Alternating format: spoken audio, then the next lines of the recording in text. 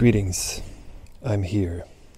Went for a run yesterday, the first run in ages, and I ran past my old friend Mr. Birch, whom I sorely missed and rejoiced seeing again. And I felt today that Mr. Birch called me here to set up my equipment and to make myself available for communication. It feels like I'm sitting in a dark void because the light is strong and the darkness around is black, so I cannot see shit. But I guess that's fine because, let's face it, shit isn't that much to look at.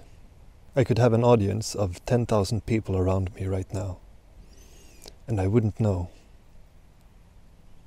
Because all I see is this circle with a radius of 2 meters, right about. And actually, not a circle, I only see like 180 degrees tops.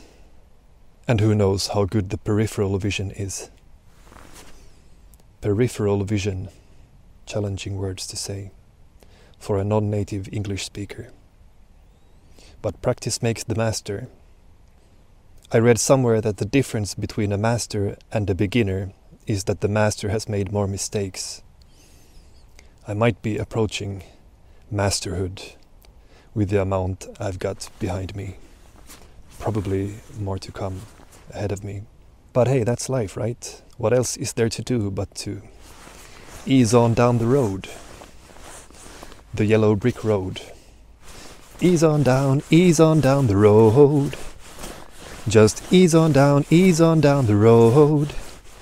Don't you carry nothing that might be a load. Come on, ease on down, ease on down the road encounter friends such as the Scarecrow, the Tin Man, the Lion, and perhaps meet with some sort of wizard. There are for sure fake wizards in this world. But outside of this world, and also within this world, is a real wizard. The prospect of there being someone listening to me right now distracts me. I guess there's some sort of shame. Who do I think I am? Videoing myself with a light and everything right in the middle of the forest. Maybe I'm dangerous even, some sort of violent nutcase. Anything different in this world is potentially dangerous, must be suspiciously eyed.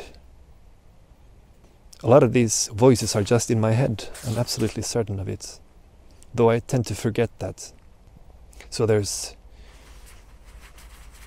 Jantelagen, which is a Swedish expression for the law that you should not stick out don't think you are something. Lay low. That's not humility, though, even though that's how it's portrayed. A good friend of mine described humility as knowing your boundaries and filling them up.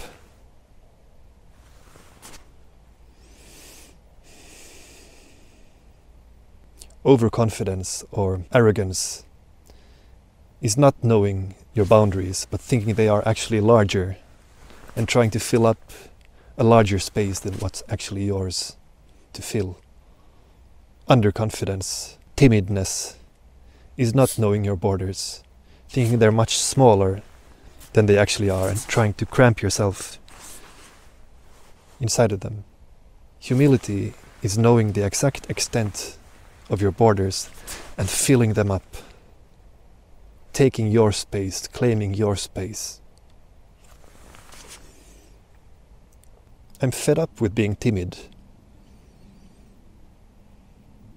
And then with pressure bouncing over to arrogance. I want to be humble. I want to stay on the road. Not that ditch, not that ditch. On the road. The yellow brick road. Leading forward.